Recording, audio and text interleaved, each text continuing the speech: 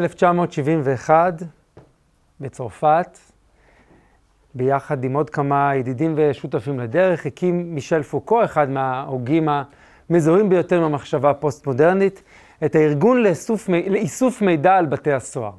מטרתו של הארגון היה, הייתה להשיג ולהפיץ ולארגן מידע על מצוקת האסירים אה, הקשה בבתי הסוהר ברחבי צרפת, אה, ולהעמיד את הנושא במוקד סדר היום הציבורי.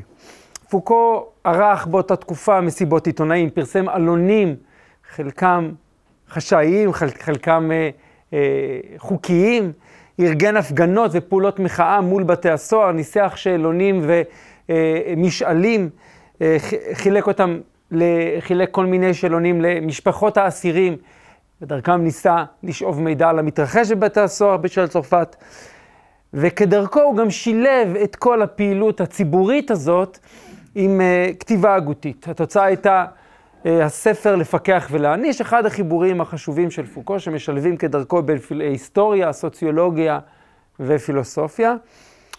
בדומה לכך, בתקופות אחרות בחייו היה פוקו פעיל בכל מיני uh, זירות פוליטיות וחברתיות, הוא היה פעיל למען זכויות חולים uh, פסיכיאטרים, חולי נפש, למען זכויות הומוסקסואלים, פעיל אה, בכל מיני אה, פעילות אנטי-קולוניאליסטית בצפון אה, אפריקה, פעיל למען מהגרים, פעיל נגד הרודן הספרדי פרנקו, שהוא נסע לספרד בשביל, כחלק מהפגנות של אינטלקטואלים מרחבי העולם, ועוד.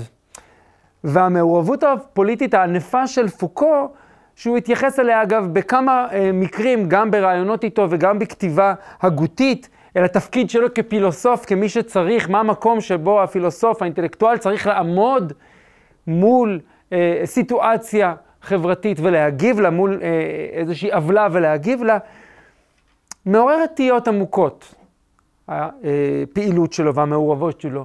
שכן אחת השאלות שעולות תמיד כשעוסקים בשיח פוסט-מודרני או במחשבה פוסט-מודרנית, היא כיצד ניתן, ניתן להשיג, להציג איזושהי מדיניות איזושהי ביקורת, איזושהי עמדה סדורה, להיאבק ב, אה, למענה, תוך כדי אחיזה בעמדה שאין בעצם אמת. האם אין כאן סתירה פנימית? השאלה הזאת רלוונטית לא רק לגבי פוקו, אלא לגבי הוגים פוסט-מודרניים רבים אחרים, כמו שנראה אה, בהמשך. ההתמודדות עם השאלה הזאת תהיה עבורנו נקודת מוצא להתמודדות בכלל עם המקום של הפוליטיקה או יותר נכון המקום הכל כך מרכזי ודומיננטי של הפוליטיקה, בתוך המחשבה הפוסט-מודרנית. נפתח עם העמקה אה, בהגות של פוקו, שנפגשתי איתה קצת דרך מושג השיח בהרצאה הקודמת. באמת בהרצאה הקודמת נגענו בין השאר אה, בפילוסופיה של ז'אק דרידה, וראינו כיצד פילוסופיית הלשון שלו היא פוליטית ממש מן הקצה אל הקצה. כן, כל, אה, גם היבטים שהם לכאורה היבטים אה, בלשניים וכן הלאה, ניתוחי לשון, הם בעצם שרויים ועמוקות בתוך מחשבה פוליטית. דוגמה נוספת לקשר שבין השפה והשיח היא אה, מושג, המושג ידע כוח אצל מישל פוקו. זה אחד המושגים המשפיעים ביותר, המשפיעים ביותר בכלל בשיח הפוסט-מודרני, במיוחד אה, על שיח פוסט-מודרני אה, בעל, בעל, אה, בשדות בעלי משמעות מעשית יותר, לשם הוא חדר דרך השפעה של פוקו על תחומי מחקר כמו סוציולוגיה, אנתרופולוגיה, תקשורת, מדעי המדינה וכולי. אה, במקומות אחדים פוקו משתמש בצורות ידע לוחסן כוח, או כוח לוחסן ידע, כי מבחינתו אין הבדל. היחס בין ידע וכוח, טוען פוקו, הוא כמו היחס בין חומר ואנרגיה בפיזיקה של איינשטיין. כן, התאנה היא שאלה שתי צורות שונות של בעצם אותו דבר. רשת הכוח, רשתות של הכוח מייצרות ידע, שמוליד כוח, שמעצב צורות של ידע, וחוזר חלילה במעין לולאה סגורה אינסופית שלא אה, מסתיימת אף פעם. הכוח והידע משולבים זה בזה בצורה שלא ניתנת בעצם להפרדה, לפעמים אפילו לא ניתן להבחין בין מתי אנחנו מדברים פה על כוח ומתי על ידע, ולכן הוא משתמש אה, באופן תדיר בספרים שלו במושג, במושג כוח ידע או ידע כוח, כבעצם מושג שהוא שקול. בכל פעם שנוצר מערך של ידע, הוא מעצב גם מערכים של כוח, ובכל פעם שנוצר מערך של כוח, הוא מעצב סדירויות שונות של ידע, שמשמרות את הכוח האלה, את הכוח הזה וכן הלאה. הסדירויות האלה של הידע כוללות אידיאולוגיות שונות, אה, שמתייחסות לידע כאל משהו ניטרלי ואובייקטיבי, וכך הן בעצם משמרות את הכוח שלו. דוגמה בולדת, שפוקו מביא אותה כמה פעמים, היא האידיאולוגיה הסמויה, הסמויה של המדע. מתייחסת לידע שהמדע מייצר כאל גורם ניטרלי ואובייקטיבי. ובניגוד להנחה הסמויה הזו, פוקו טוען שהידע המדעי איננו גורם אדיש, והוא לא ניטרלי ולא אובייקטיבי אף פעם. הוא חלק בלתי נפרד ממאבקי כוח, מיחסי כוח, מאינטרסים, כלומר, מפוליטיקה. כך למשל ביחסי כוח לא שוויוניים בין גברים לנשים, שהם מצב העניינים התדיר ברוב החברות שאנחנו חיים בהן, או כמעט בעצם בכל החברות שאנחנו מכירים, מיוצר ידע על נשים. כתוצאה מכך, יש יותר ספרים שעוסקים בנשים ונשיות מאשר בגברים, בגברים וגבריות, כמובן ספרים שנכתבים כמעט כולם על ידי גברים. בדומה לזה אפשר לטעון ברוח דבריו של פוקו, לא לכל דוגמאות האלו כמובן מתייחס בעצמו, יש יותר ספרים שעוסקים אה, בבעיות השחורים ופחות באדם הלבן, יש יותר ספרים שעוסקים, אם נתייחס למצב הישראלי, במזרחים ובמזרחיות, מאשר ספרים שעוסקים באשכנזים ובאשכנזיות. גם חלק גדול מהסופרים שכותבים את הספרים האלה כמובן יהיו אשכנזים. יש יותר ספרים שעוסקים בהומוסקסואליות כתופעה מאשר בהטרוסקסואליות כתופעה וכיוצא בזה. כזכור, מושג האמת החליף כיוון בתפיסה הפוסט-מודרנית. האדם לא נתפס כמי שמגלה איזה אמת שנמצאת אי שם, אלא כמי שמייצר תמיד את האמת, וברוח הזו, לטענת פוקו, לא הפעילות של סובייקט הידע, כן, ההומואים, השחורים, הנשים וכולי, היא שמייצרת את הידע אודותיו, אודות הסובייקט הזה, אלא מערך הכוח והידע הוא זה שמייצר את צורות אה, ותחומי הידע בנוגע לאותם סובייקטים. לא העובדה שיש נשים, שחורים או הומוסקסואלים ויש להם מאפיינים ותכונות מסוימות וכולי, היא שמייצרת את הידע הזה אודותם, אלא הפוך. קיים מערך שלם של ידע וכוח שמייצר את כל אחת מהקטגוריות האלה. כן? נשים כקטגוריה מובחנת, שחורים כקטגוריה מובחנת וכן הלאה, וככזו ששמים אליה לב, כתשומת לב מיוחדת, שמקטלגים אותה כשבוחנים, ככזו שבוחנים אותה ומגדירים אותה. ייצור הידע, במילים אחרות, הוא לא אובייקטיבי, אלא נקבע על ידי אותו מארג של כוח וידע. זה בולט למשל בשיח התקשורתי, התקשורת נוטה כל הזמן לייצר קטגוריית התייחסות, לנסח את הידע עוד אותן, לשים עליהן את הפוקוס. למשל, תחשבו על מושגים שמופיעים בשיח התקשורתי שלנו כל הזמן, חדשות לבקרים, כל פעם עולה מושג אחר ותופס את מרכז הבמה. החרדים, הטרדה מינית, הדרת נשים, ימין קיצוני, שמאל קיצוני, שירת נשים, מחאה חברתית, האביב הערבי, האיום האיראני, כל אחד מהמושגים האלה, כל אלה זה קטגוריות שתקשורת ההמונים, ההמונים היה לה תפקיד קריטי, גם אם לא בלעדי, בעצם העיצוב שלהם כקטגוריות. זהו, למשל, מהלך של ידע כוח. כלומר, לטענת השיח הפוסט-מודרני, לא העובדה שיש אה, איזשהו, כן, אה, מה, אביב ערבי למשל, היא מה שמייצר את האביב הערבי, אלא שימת תשומת הלב לדבר הזה מייצרת בעצמה שיח שמייצר כוח וכן הלאה. לדבר הזה יש גם בסופו של דבר השפעה כמובן על המציאות בשל... בקצה, אבל נקודת המוצא הרבה פעמים, עצם אה, נקודת המבט, עצם שימת הדגש, ההגדרה, הקטגוריזציה, אפשר היה להגדיר את הדברים אחרת, אפשר היה לייצר קטגוריות אחרות. מי שמייצר את הקטגוריות, מי שמעצב אותן, הוא מי שבידיו הכוח, מי שמשחק עם הידע, מי שמייצר את הידע, ולא השטח עצמו הוא זה שמעלה אה, את הידע. באופן דומה, וזה טיעון קריטי עבור פוקו, גם השיח המדעי, שעליו דיברנו לפני דקה, וטיעוני האמת שלו הם בעצם לא אובייקטיביים. האמת המדעית מובנית ומתוחזקת כל הזמן על ידי מרחב של פרקטיקות שמתקפות אותה, וחוקים ופרוצדורות שמשמרים אותה, דוחקים לשוליים הלא לגיטימיים צורות שיח אחרות, היגדים וקשרי לוגיקה אחרים שהיו יכולים לתפוס אה, את קדמת הבמה בדיוק באותה מידה. מה מעניק לגיטימציה לטיעון מדעי? מי רשאי לשפוט את האמת של הטיעון המדעי ומי אינו רשאי? על מי הטיעון המדעי יכול, יכול לחול ומי הוא לא רלוונטי לגביו? כל זה הוא חלק, טוען פוקו, מפוליטיקה שמשמרת מבני כוח וידע מסוימים, שיש מי שמרוויחים ממנה ויש מי שמפסידים. התפקיד של השיח כאן הוא חשוב מאוד. ההגבלות שהשיח מייצר, ושדיברנו עליהן בהרצאה הקודמת, הן הכלים שדרכם מעוצב הכוח ידע, דרכם הוא ממשטר את הידע שעומד, את כל מה שעומד אה, בפניו וכדומה. כלומר, כמו שכבר אמרנו, הדיון בפילוסופיה של השפה הוא פוליטי אה, מתוך עצמו. זו אולי הדוגמה החזקה והבולטת והמפורסמת ביותר, הייתי אומר, בשיח הפוסט-מודרני, למקום של הפוליטי בתוך, ה, אה, בתוך השיח הזה.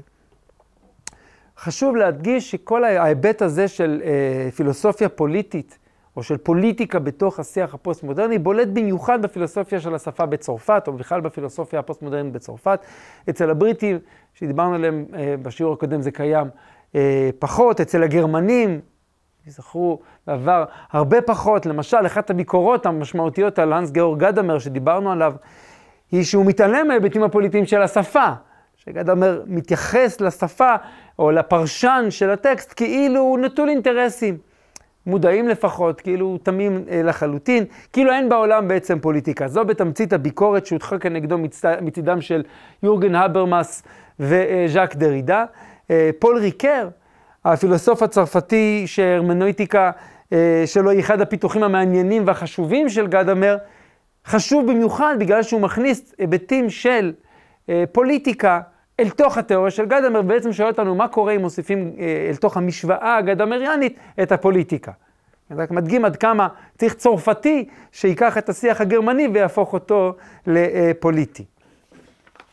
אה, זה, זה שוב מעניין אה, מכל מיני היבטים, במיוחד מההיבט הזה. אבל חשוב להדגיש כל זה באמת בזרמים הפילוסופיים המקוריים, כלומר בחלוקה הבסיסית לצרפת בריטניה וגרמניה, שוב, בשנות ה-60 וה-70, זה אכן כך. כלומר, צרפת מאוד פוליטית ושאר המקומות פחות. החל משנות ה-90, אה, וביתר שאת בשני העשורים האחרונים, ישנה השפעה אדירה של אופן השימוש הצרפתי בפוליטי, בתוך הפילוסופיה, בתוך ההגות הפוסט-מודרנית, על השיח הפוסט-מודרני כולו, גם במקומות אחרים, באנגליה, בגרמניה ובעיקר בארצות הברית, בשיח השמאל האינטלקטואלי שם. באקדמיה במיוחד. אמ, וזה כמובן מעצב אה, כל מיני דפוסי חשיבה חדשים שלא היו קיימים לפני כן.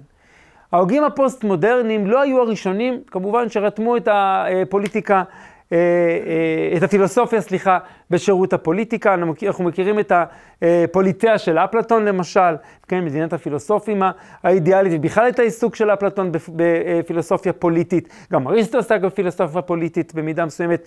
אה, ניקו מקיאוולי, כן, נחשב לאבי הפילוסופיה הפוליטית המודרנית בזכות ספרו הנסיך שנכתב ב-1513. הוגי הנאורות, כמו רוסו, מונטסקיה, וולטר, מיל, מידה רבה אה, מסוימת גם אפילו קאנט, יצרו פילוסופיה שיש לה יהודים אתיים ופוליטיים אה, מובהקים. והייתה להם גם השפעות מעשיות אה, מאוד ברורות להגויות האלה, כן, רוסו ומונטסקיה השפיעו על המהפכה הצרפתית, על החילון, על הדמוקרטיזציה, על עיצוב החוקה האמריקנית. קאנט על הדמוקרטיזציה והחירות אה, והחירות והמדע והכלכלה בעצם במרכז אירופה, ובמידה מסוימת על הגבלת העוצמה של המלוכה והגדלת כוח הפרלמנטים ברחבי אירופה. אה, מיל על כל מיני תחומים, אבל בין השאר על שחרור העבדים בבריטניה ועל שינויים במעמד האישה בבריטניה, בכלל אה, במערב. ועדיין, למרות השימוש של ההוגים האלה בפילוסופיה פוליטית, קיים הבדל בין הפילוסופיה הפוליטית הקלאסית והמודרנית לבין המקום של הפוליטיקה בפילוסופיה הפוסט-מודרנית, ושימו לב, אני מדגיש ולא משתמש בביטוי פילוסופיה פוליטית פוסט-מודרנית, כי זה שונה. ההבדל הוא שהפילוסופים האלה, המודרניים, טענו שהטיעונים הפוליטיים אה, נעשים במסגרת מוצרת של פילוסופיה פוליטית או חברתית. פילוסופים פוסט-מודרניים שונים מהחבורה הזאת, בכך שהם בעצם כביכול מסווים את הפוליטיקה שלהם. לכאורה, הם בכלל לא עוסקים בפוליטיקה, ומצד שני הם לא עושים שום דבר חוץ מאשר פוליטיקה. אבל הפילוסופים המודרניים יכול להיות כוח פוליטי לפילוסופיה כשהיא עוסקת בתחומים מסוימים. ויש גם קשר בין ההגות של ההוגים האלה בתחומי הפוליטיקה, בין ההגות הפוליטית שלהם להגות הלא פוליטית שלהם.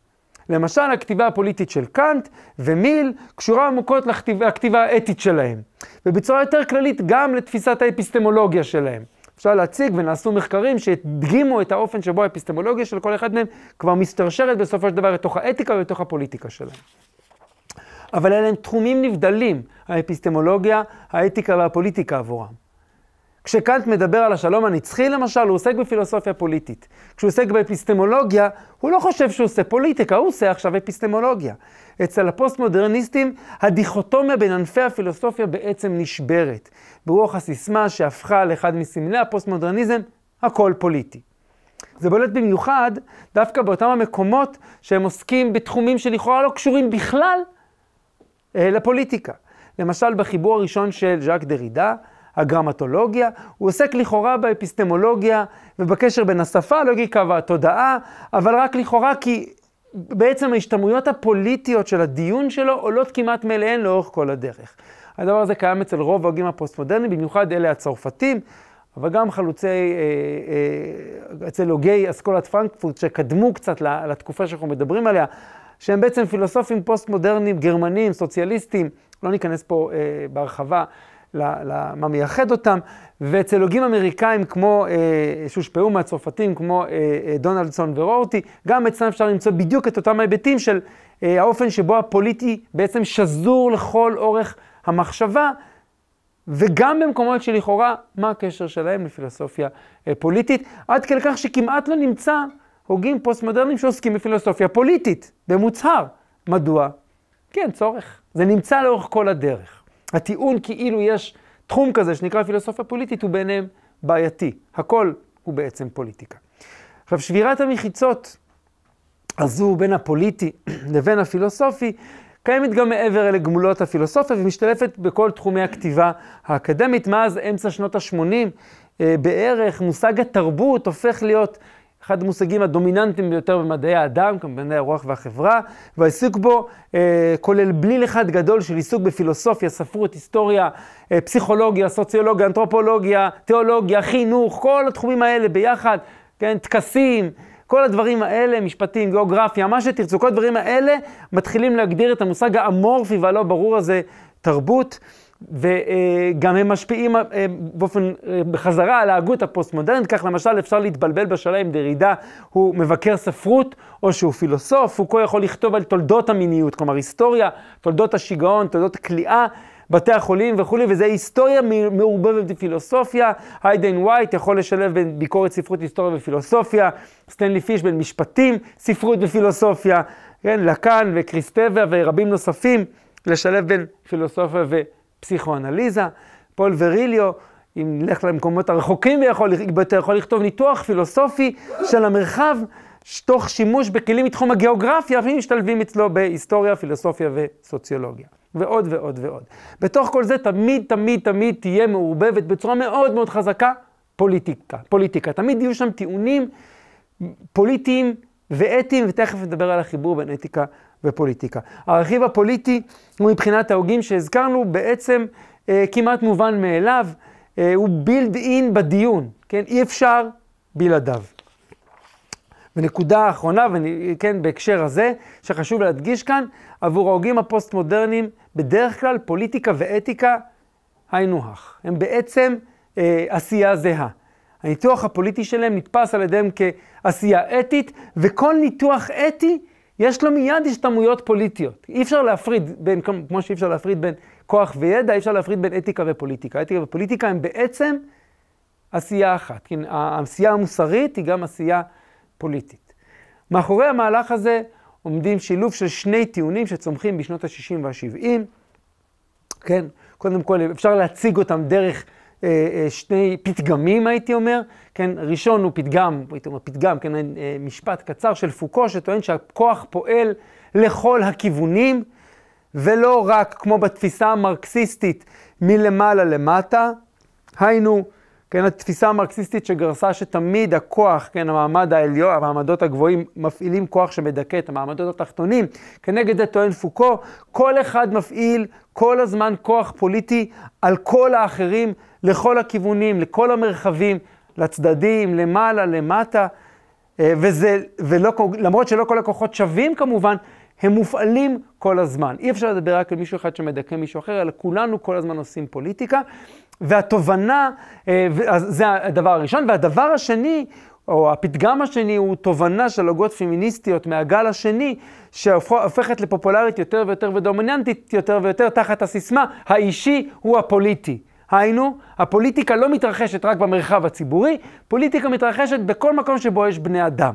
כן, סיסמאות נוספות שאותן הוגות תובעות היא למשל פוליטיקה של עקרות הבית, כן, הפוליטיקה מתרחשת בין בני הזוג בתוך הבית, ויש להם עוד חזקות מאוד בסלוגנים, אה, הפמיניסטית מהגל השני. אה, אז באמת הרעיון שעומד מאחורי הדבר הזה, הוא שבאמת אה, האישי או הפוליטי, כלומר הפוליטיקה לא מתרחשת רק במרחב הציבורי, בניגוד ל... מקור של המילה פוליטיקה שקשורה לפוליס, כלומר למה שקורה בעיר, במרחב הציבורי, הפוליטי מתרחשת גם במקום הכי אישי, הכי אינטימי, בתוך הבית, בתוך הזוגיות, ביחס בין הורים לילדים, בין בני זוג וכן הלאה. גם שם מתרחשים יחסים פוליטיים.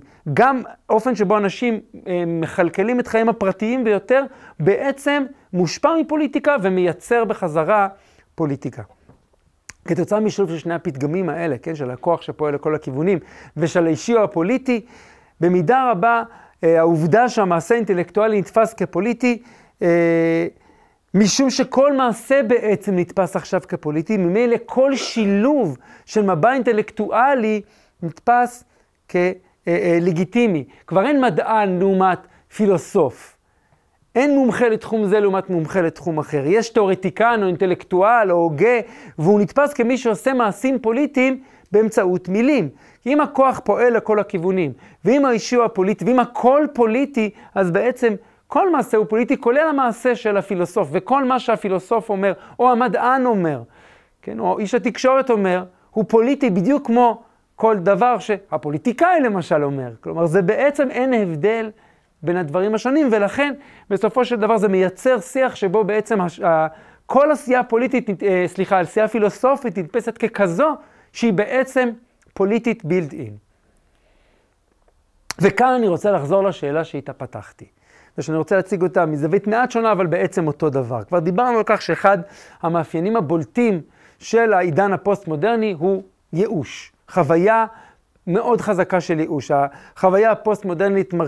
כוללת מרכיבים בולטים של ייאוש מהסיטואציה האנושית, אני לא רוצה לחזור על זה באריכות, כן, ייאוש מהיכולת של האדם להבין את המציאות, לטפל בה, ייאוש מהיכולת של האדם לשפר את המציאות. הפוסט-מודרניזם נעוץ בחוויה לפיה המציאות היא כאוטית.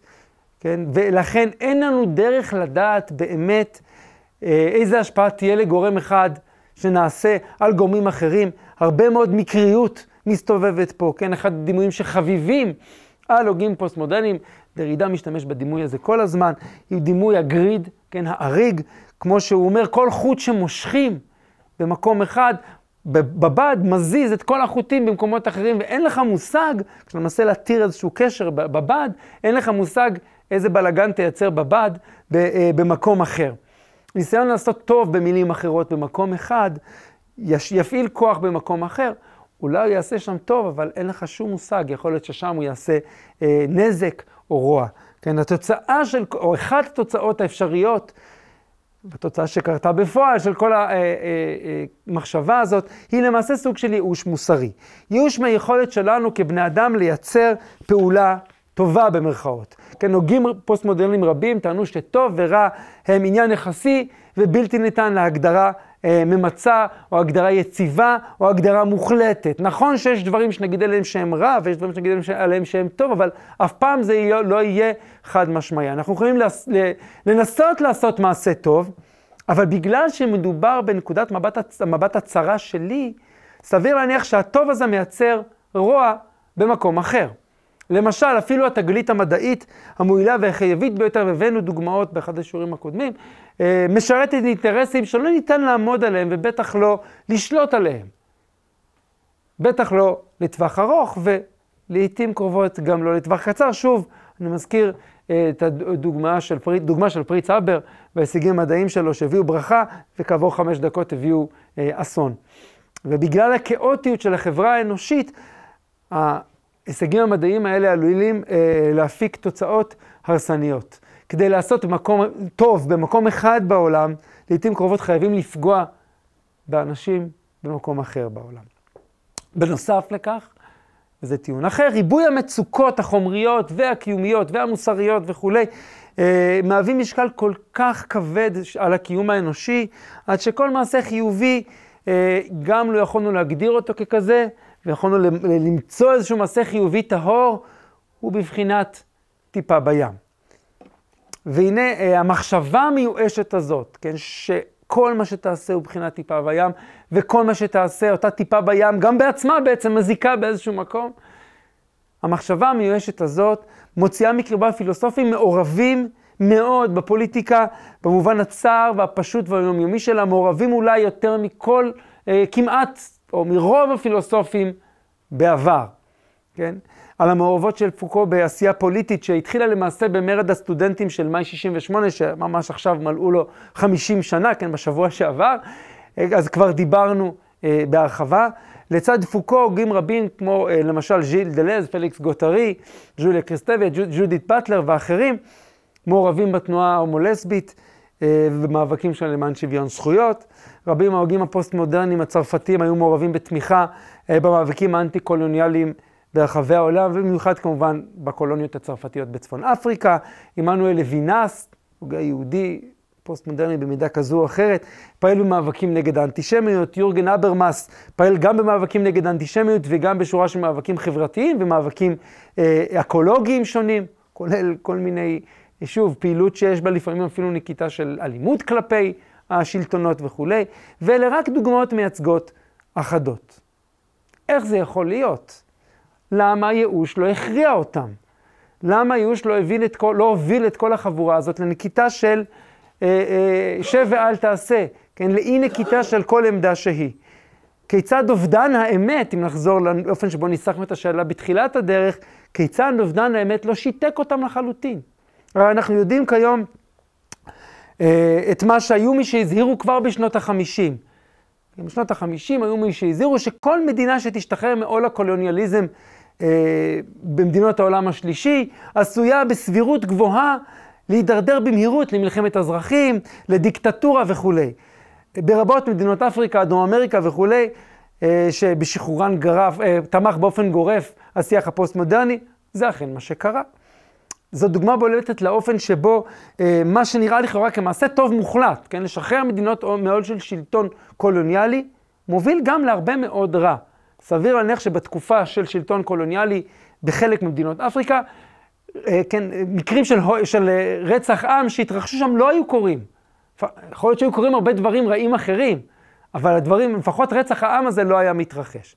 וזה כמובן בלי שאני רוצה להכריע בשאלה אם היה צריך או לא היה צריך לתת עצמאות למדינות האלה. אבל כשאתה מקשיב לדיון של הוגים פוסט-מודרניים בשאלה האם צריך או לא צריך, השיקול הזה בכלל לא עולה. ברור להם שהטוב המוחלט הוא לתת עצמאות לקולוניות. אינטלקטואלים פוסט-מודרניים, כמו שאמרת, היו בחוד החנית של המאבק הזה נגד הקולוניאליזם.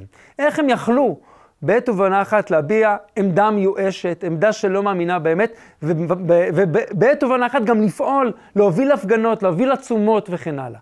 השאלה הזו קשורה לא רק להוגים, אלא גם לחוויה האנושית בעידן הפוסט-מודרני. מצד אחד, החוויה הפוסט-מודרנית היא חוויה של ייאוש, ייאוש מהאידיאולוגיות, ייאוש מהאנושי, ייאוש מהמוסרי, אבל מצד שני, למרות החוויה הזאת, לא נפסקת הפעילות החברתית, המוסרית והפוליטית, ואפילו לפעמים יש תחושה שהיא רק מועצמת, ובאותם חוגים שאוחזים באותה תפיסה פוסט-מודרנית של ייאוש, ו, אה, ייאוש מוסרי וייאוש מהאמת.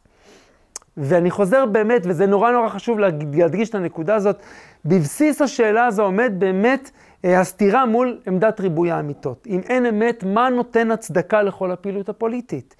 האם, הפעילו, אם, האם הפעילות הפוליטית היא בסך הכל תוצאה של אה, אינטרסנטיות צרופה?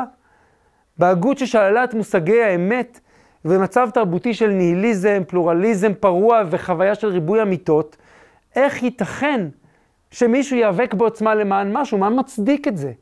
אם אתה לא מאמין שמשהו בעצם אמיתי, ושכל, אה, וטוען שכל אידיאולוגיה היא בסך הכל אשליה, כן, שיח, כן, מין בועה נטולת כל ממשות, מה מצדיק את המעשה שאתה פועל בשמו?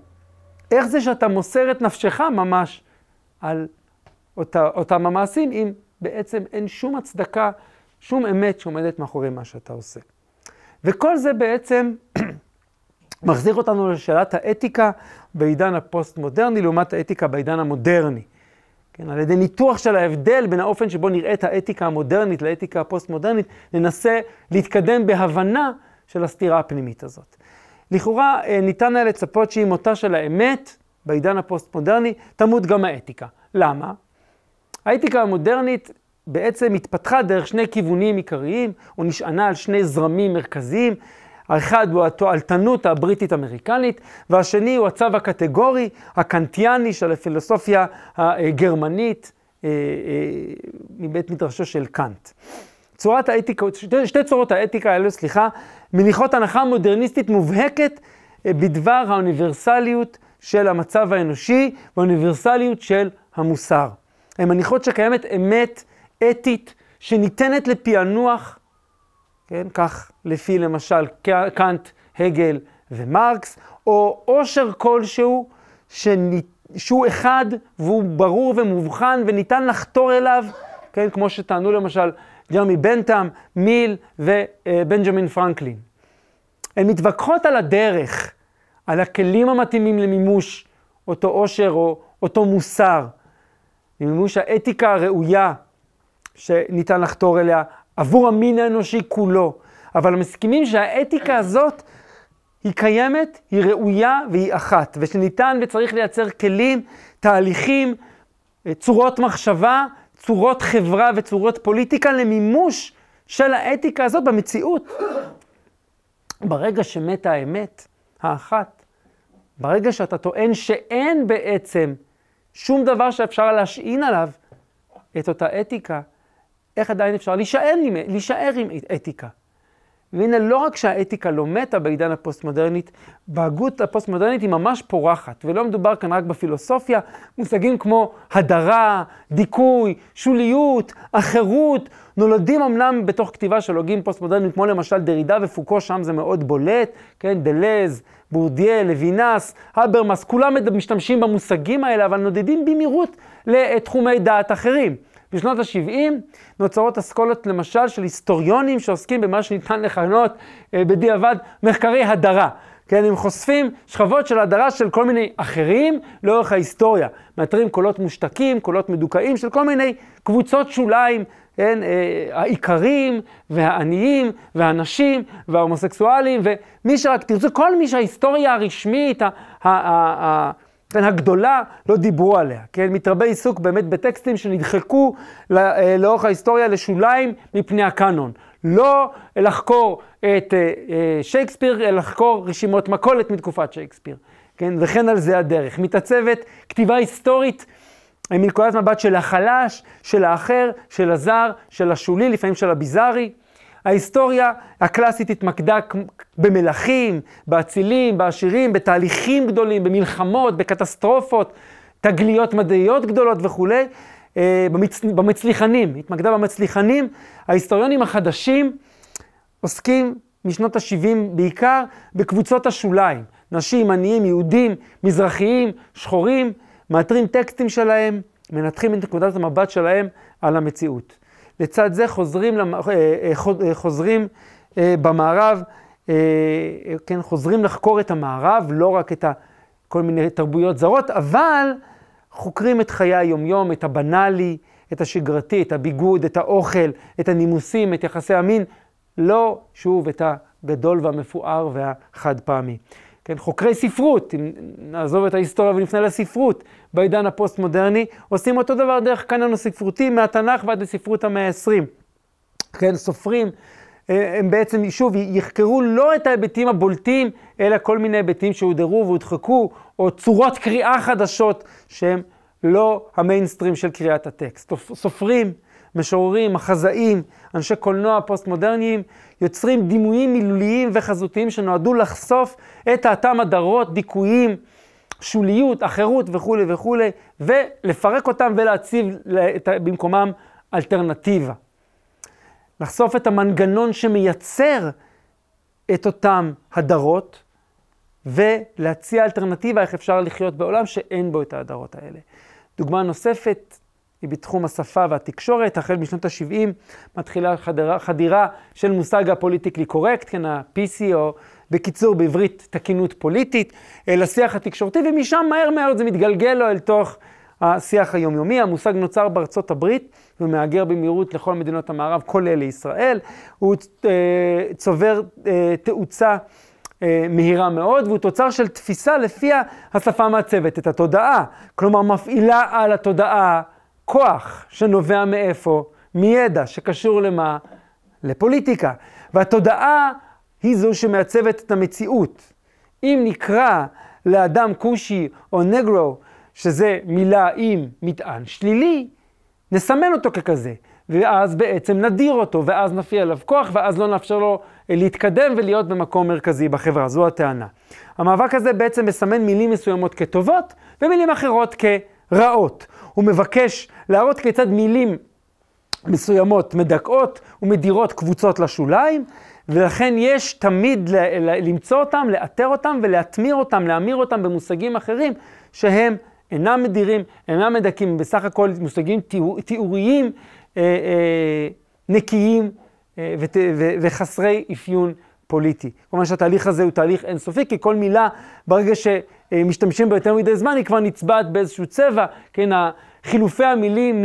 אה, אינבציל, לאינווליד, למוגבל, וכולי וכולי, כן, שרשרת המילים שאנחנו מכירים עד שאנחנו מגיעים היום, אה, כן, להפרעות כן, השימוש בהפרעות, הפרעות קשב, הפרעות ריכוז וכולי וכולי, מדגימה בדיוק את התופעה הזאת. ברגע שאתה, כן, משתמש, השימושים המקוריים בכל מיני ביטויים שנתפסו כביטויי גנאי, הוחלפים ביטוי אחר, שהוחלף בביטוי שלישי ורביעי וחמישי, אה, ואני לא אומר ש, ש, שזה רע, אבל זה רק מעין דינמיקה כזאת שאי אפשר להשתחרר עליו, היא באמת מצביעה בעיקר על האופן שבו האנרגיה האתית מאוד חזקה בתוך השיח הפוסט-מודרני. כי אם אתה לא תופס, למה זה שיח פוסט-מודרני? כי אם אתה לא תופס את השפה כבעלת השפעה כל כך חזקה על עיצוב התודעה, אז מה אכפת לך איך מכנים את, ה, אה, כן, את האדם? ברגע שהרעיון שה, שהשפה מעצבת את התודעה חודר בצורה כל כך חזקה אל תוך השיח, שוב, החל משנות ה-70, אה, לתוך השיח במערב, בעצם זה מאוד חשוב איך אתה קורא לאדם, והכינוי, הביטוי שאתה משתמש בו, הוא אה, מאוד מאוד דרמטי. כל הביטויים האלה של המחשבה הפוסט-מודרנית, דרך ההמשגות שעליהן דיברנו, מלאים בחרון אף מוסרי. כן? זה לא, אף פעם לא בא בצורה כזאת של מין דיון אינטלקטואלי אה, נקי. זה תמיד יהיה מלווה באיזשהו זעם אה, אתי. חרון אף מפתיע ומאוד משונה. הרי לא ניתן לדבר על שוליות למשל, או על הדרה למשל, בלי להניח שהשוויון הוא ערך.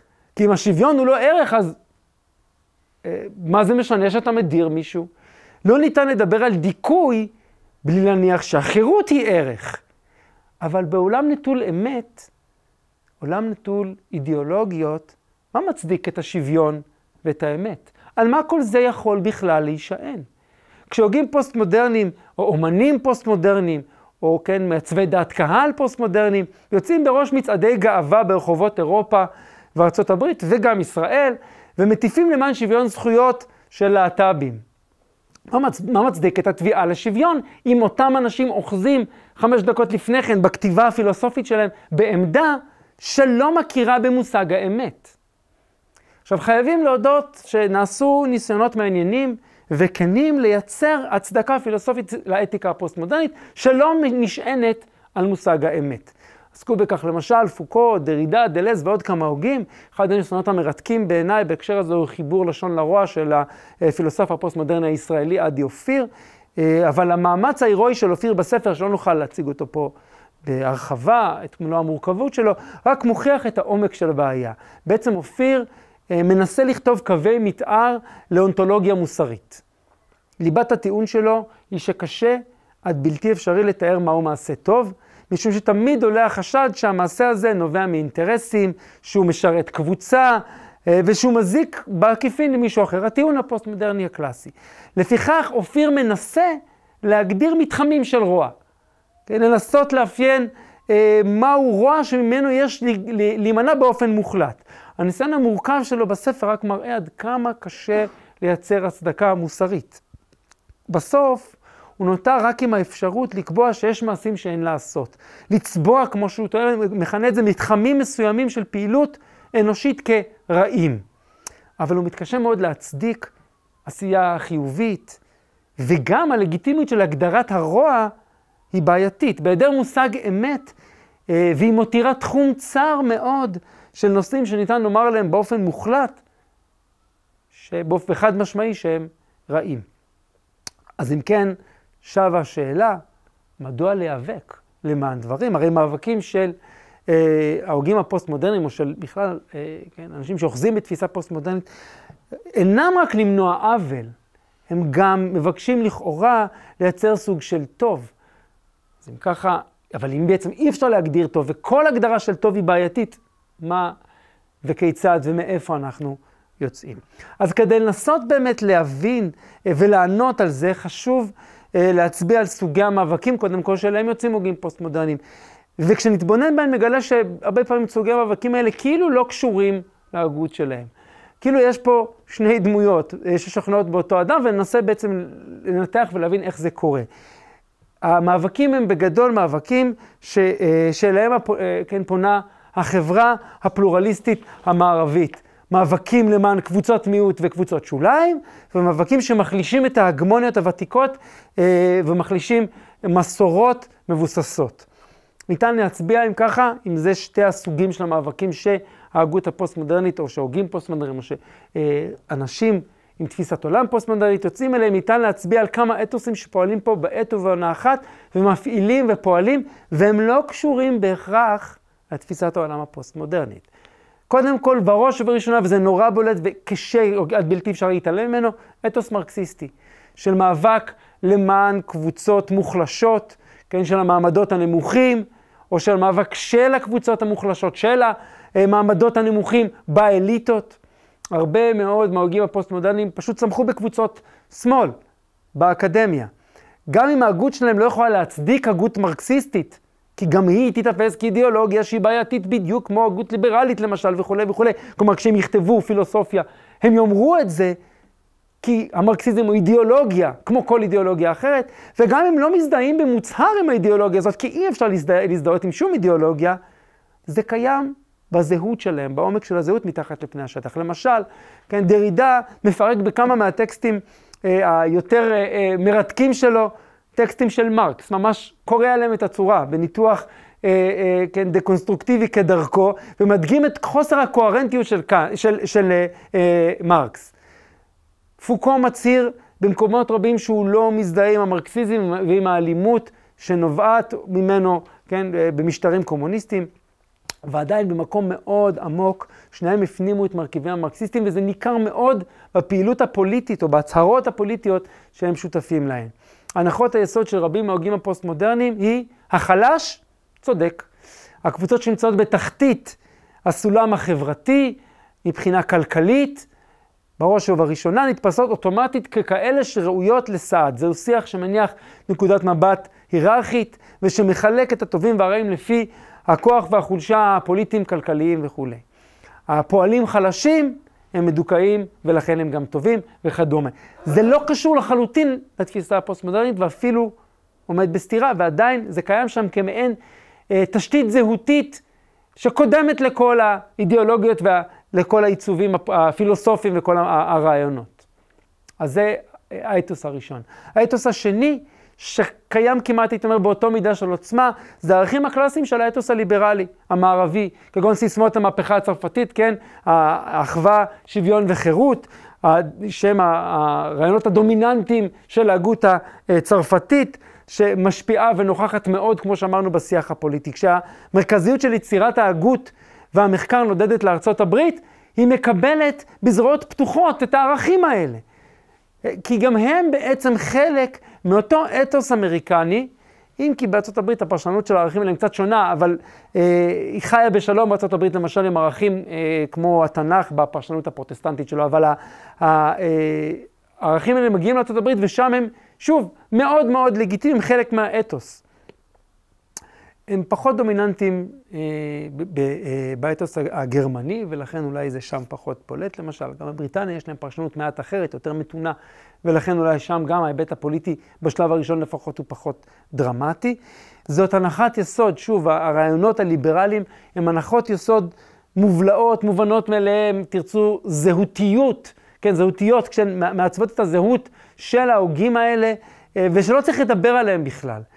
כן, הליברליזם הוא, אה, הוא קודם לתפיסות העולם הפוסט-מודרניות. הוא בעצם, הוא כל כך מופנם שבעצם לא צריך לדבר עליו. הליברליזם כאן הוא כמובן ליברליזם בצורה המוקצנת שלו. זהו ליברליזם שמקבל פרשנות שמושפעת מהנחות יסוד מרקסיסטיות שדיברנו עליהן קודם, וממילא הוא כבר אה, כולל בתוכו את אותו סנטימנט של מאבק למען החלשים. אז זה ההיבט השני. היבט שלישי הוא הנחה שמאוד מאוד צרפתית באופייה, שאם אתה אינטלקטואל אתה חייב להיות מעורב. אין דבר כזה אינטלקטואל שיושב במגדל השן, אין דבר רע מזה, כן? ולכן ההוגים הפוסט-מודרניים תופסים את עצמם כמי שחייבים להגיב. זה שוב, זה הנחה אם הם, אתה כהוגה, כמי שניתן לו את הבמה לדבר, אתה לא יכול לדבר מין דיבור כזה מנותק. אתה חייב לעסוק בשאלות השעה. השעה. העיסוק האינטלקטואלי לא יכול לעולם להישאר מנוכר, זה מנותק מהמציאות הפוליטית, מהאמירה הפוליטית. זה הנחת יסוד שהיא כמעט בילד אה, אין, היא מופנמת, אי אפשר להימלט ממנה. ולכן, שוב, מאוד חזק בצרפת, באופן אה, שכמעט בלתי ניתן אה, להתעלם ממנו, המקום של הפוליטי דווקא בצרפת. ושוב, לא מדובר פה בתפיסת עולם מוצהרת ומנוסחת, מדובר פה במאפיין זהותי כחלק מהתרבות שבתוכה גדלים אותם הוגים, משהו שהוא בעצם מאפיין את ה... הייתי אומרת, אה, כור מחצבתם, ושהם לא יכולים להשתחרר ממנו, גם כאשר תפיסת העולם שלהם בעצם אומרת שהם לא יכולים לעשות את מה שהם עושים. וארבע, ופה אני מגיע לטיעון היותר, אה, הייתי אומר, אה, מעניין, הוגים עקביים יותר, כמו פוקו, ויותר מודעים לעצמם, הייתי אומר, הודו שבאמת אין להם דרך להצדיק את המאבק שלהם. אבל, למשל, טוען פוקו, גם אי נקיטה של עמדה לא ניתנת להצדקה. כלומר, כמו שאני לא יכול להצדיק את נקיטת העמדה למען מישהו, ככה אני לא יכול להצדיק גם את אי נקיטת העמדה. לכן, אני פועל באופן שיש בו מימד של שרירותיות, אני מודה, למען אינטרסים שנראים לי אד הוק ברגע זה ראויים. גם אם באופן אבסורדי ואירוני, זה בלתי ניתן להצדקה וזה אפילו בעייתי. כי עצם הפעילות הפוליטית שלי היא בעייתית, היא, היא בעייתית, היא מזיקה וכן הלאה. היא טיפה בים, כל מה שאמרנו לפני כן. זה נכון, אני לא מתעלם מזה, יאמר פוקו, אבל אני אה, פועל כי, גם, כי לא לפעול זה בעייתי באותו מידה. ואני לא יכול להצדיק? נכון, אני לא יכול להצדיק. אין לי הצדקה באמת, כן? יש פה לפחות מודעות לבעייתיות עצמה. והנקודה שחשוב להדגיש כאן, ואני שב בדבריי האלה שוב לדברים שאמרתי ממש בהרצאה הראשונה בסדרה, זה חוסר הקוהרנטיות הפילוסופית המוצהרת. כלומר, החוקרים, ההוגים והיוצרים הפוסט-מודרניים בעצם אוחזים בעמדה של מות ערכים ושל טענות בדבר פירוקה של הזהות, ובאותה שעה הם נשענים על ערכים ונשענים על זהות, שמתוכה הם בעצמם פועלים. אלא שכאן בא הקלף המנצח לכאורה מנקודת המבט שלהם. כשמעמידים את ההוגים הפוסט-מודרניים מול הסתירות הפנימיות האלה, אה, כן, מול כך שמצד אחד אוחזים בערכים, מצד שני אומרים שאין דבר כזה ערכים, מצד אחד נשענים על זהות מאוד מעוצבת של עצמם, מצד שני טוענים שאין דבר כזה זהות מעוצבת, וכל האישיות היא בעצמה מפורקת ומתפרקת תמיד. התשובה שלהם לטענות האלה היא שבעצם השאיפה עצמה לקוהרנטיות היא בעצמה בלתי ניתנת להצדקה. החוויה האנושית היא אכן לא קוהרנטית. המצב הפוסט-מודרני הוא בין השאר מודעות חריפה לאותה חוסר קוהרנטיות. הפוסט-מודרניזם מדגיש את חוויית חוסר הקוהרנטיות הזאת, וכמו שפוקו אומר בהקדמה לאחד הספרים שלו, וגם בסיכום של אותו הספר, לא תתפסו אותי. לא תתפסו אותי, לא תצליחו להוציא מפה אמירה קוהרנטית חד משמעית. אני לא אניח לכם לתפוס אותי כמציג איזשהו מצג קוהרנטי. תמצאו סתירות בספר, יותר מזה, אני בעצמי אצביע בפניכם על הסתירות בספר שלי. אז תגידו לי, מה, מה אתה עושה? כן, כי המצב האנושי הוא לא קוהרנטי. זה מאפשר לי, זה נכון גם לגבי ההגות עצמה, וזה נכון שבעתיים לגבי היחס בין ההגות לבין הפעילות האינטלקטואל, הפוליטית של אותם הוגים. כן, הסתירה קיימת וזה בסדר. זה בסדר וכך צריך להיות וככה זה המצב האנושי. אנחנו כבני אדם איננו קוהרנטים. אנחנו כבני אדם רוצים לספר לעצמנו סיפור כאילו אנחנו קוהרנטים, כן? אותו, אותו נרטיב על, אותו אידיאולוגיות, כן, שמייצבות איזשהו סיפור שאנחנו מספרים לעצמנו, הוא רק סיפור. ובעצם אנחנו תמיד יכולים לחשוף את חוסר הקוהרנטיות. במילים אחרות, כן, יטענו אותם הוגים פוסט-מודרניים, שגם ההוגים המודרניים שלכאורה הם קוהרנטיים לחלוטין, אם ננתח אותם לעומק נגלה עד כמה הם בעצמם לא קוהרנטיים, עד כמה יש סתירות פנימיות בתוך התפיסות של כל אחד מהם, והרי זה חלק חשוב מהפרויקט של הוגים כמו דרידה, פוקו, דלז וכולי. זאת אומרת, זה אותו פירוק של, ה, של החוסר הצגה של החוסר קוהרנטיות של ההוגים המודרניים וההוגים הקלאסיים עצמם, שטענו לקוהרנטיות. אז אנחנו לא קוהרנטיים? נכון. אנחנו מלאים בסתירות? נכון. אנחנו מצד אחד טוענים שאין אמת, מצד שני פועלים לכאורה בשמה של, בשמם של דברים שאי אפשר להצדיק אותם בלי מושג של אמת. נכון. ככה זה להיות בן אדם. זו הטענה. ממילא אין אמת אחת, אז מה זה משנה? התוצאה היא בעצם שההגות הפוסט-מודרנית היא פוליטיקה מראשית ועד אחרית, וזה חשוב להבין. אם עבור עידן הנאורות התבונה נתפסה כתכלית, אה, שעומדת כשלעצמה, והפילוסופיה הייתה כלי בשירותה של התבונה, בעידן הפוסט-מודרני, הפילוסופיה היא כלי בשירותה של הפוליטיקה, או יותר נכון, הפילוסופיה היא פוליטיקה. כן? זאת אומרת, הפילוסופיה נתפסת בעצם לא כמשהו שבא לתאר איזה אמת, להציג איזה אמת, אלא מה ההצדקה לעשות פילוסופיה? ההצדקה היחידה שיש לעשות פילוסופיה, וזו הצדקה כמובן שאי אפשר באמת להצדיק אותה, ושאנחנו לא מצפים להצדיק, כי אין הצדקות באמת, כי אין אמת. ההצדקה היחידה היא לפעול בשירותה של איזושהי פוליטיקה, של איזשהו מעשה, של איזשהו אקט אתי ומוסרי. במובן הזה הפילוסופיה הפוסט-מודרנית היא פילוסופיה שבעצם מפרקת את עצמה. אבל מבחינת הוגים פוסט-מודרניים זה מובן מאליו, וכך צריך להיות, כן? דרידה אמר פעמים רבות שההגות שלו עצמה, הדקונסטרוקציה שלו, ניתנת וצריכה להיות ניתנת לדקונסטרוקציה. למעשה הוא בעצמו עושה דקונסטרוקציה של הכתבים שלו שוב ושוב ושוב במקומות רבים, כן? אה, זה כבר הצגנו את האופן שבו בנוי חיבור דרידיאני קלאסי. הצגה של דקונסטרוקציה, ואז פירוק של הדקונסטרוקציה, ואז פירוק של הפירוק וכולי וכולי, במין סדרה בלתי נגמרת כזאת. הוגים פוסט-מודרניים אחרים, הם סירבו להיכנע לדרישה לקוהרנטיות ולעקביות באופן מוצהר. אה, זוהי למעשה, אה, למשל, התגובה שלהם לביקורת הכי בולטת מצד הלוגיקה הקלאסית, או לוגיקנים קלאסיים על לוגיקנים פוסט-מודרניים. הטענה שהפוסט-מודרניזם, אה, הפוסט-מודרנית היא בעצם, סליחה, שהכל האידיאולוגיות הן בעצם אשליה. הוא מבקש לפרק את כל סיפורי העל, את המטה-נרטיבים. כן, נכון? הטענה היא שהפוסט-מודרניזם בא לפרק את כל סיפורי העל המטה-נרטיביים. מה אומרים על זה הלוגיקנים? שזה בעצמו הוא סוג של אידיאולוגיה, נכון? הרי זה בעצמו מטה-נרטיב. התשובה הפוסט-מודרנית לזה היא נכון, אכן, גם לנו יש מטה-נרטיב. מטה-נרטיב שאומר שכולם יש להם מטה-נרטיבים וכולי וכולי.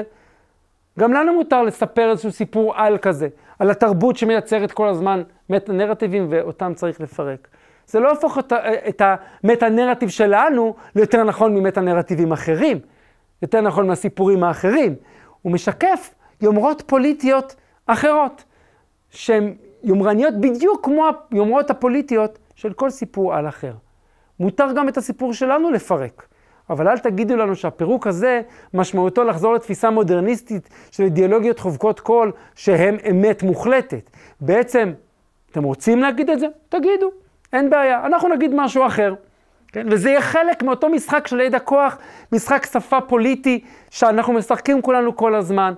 אתם, הבעיה שלכם, יאמרו הפוסט-מודרניסטים למודרניסטים, שאתם נורא מאוימים מהחוסר קוהרנטיות הזאת, נורא מאוימים מה, אה, מזה שהכל בעצם הוא סוג של משחק, מזה שאנחנו לא מצליחים לייצב שום דבר. מבחינתנו, כך צריך להיות. זה המצב האנושי. בני אדם אינם יצורים יציבים. לכן, העובדה שהחוויה של אינטלקטואלים פוסט-מודרניים היא חוויה של פירוק לא אומרת שהם לא נאבקים. התוצאה היא שכל אחד נאבק למען מה שקרוב בליבו. זו פוליטיקה של אינטרסים. העובדה שהם אומרים אמירות נורא נורא מיואשות, לא גורמת להם לא לפעול סליחה.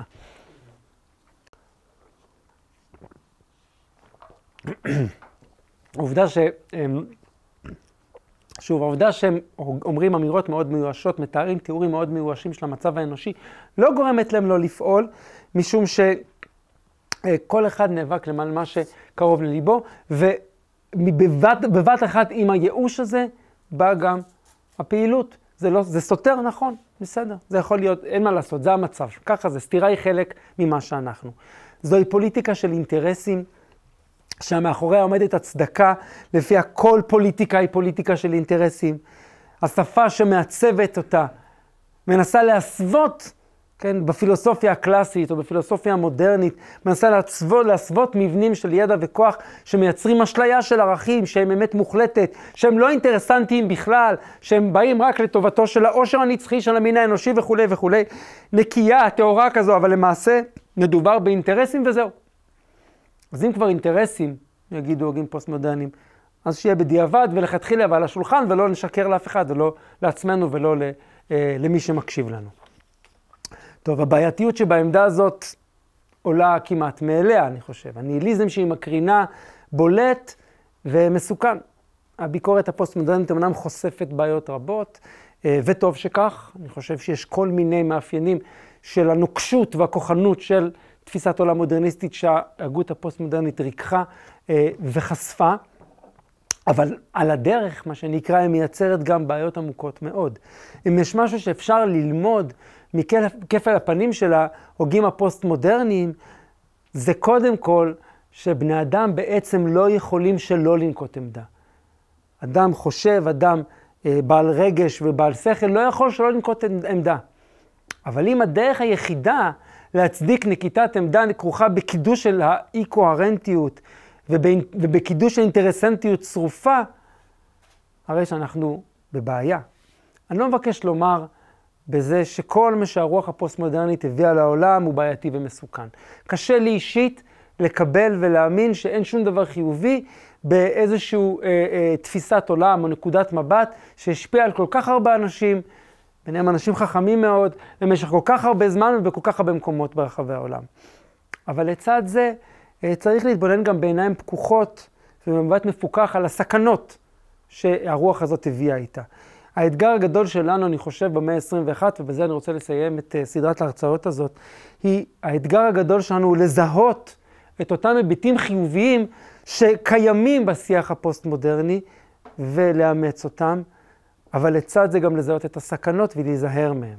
לייצר מבט חדש, מבט רענן, שמאפשר למין האנושי להמשיך ולתפקד, להתקדם מבחינה אתית אה, ולקדם רעיונות כמו צדק, אחווה, חירות, לשמור על הזהות שלנו כבני אדם וכבני חברה וכבני תרבות.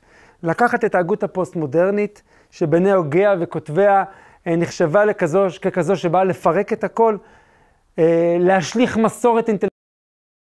לפח האשפה, ולמצוא כיצד המחשבה הזו בעצמה, שאמורה הייתה להחליף את הכל, היא בסך הכל עוד קומה, עוד שלב בתוך מסורת אינטלקטואלית, פילוסופית, רוחנית אם תרצו, של העולם המערבי, שממשיכה אותה, מפרשת אותה, משפרת אותה, מתקנת אותה ולוקחת אותנו צעד אחד נוסף קדימה. עד כאן.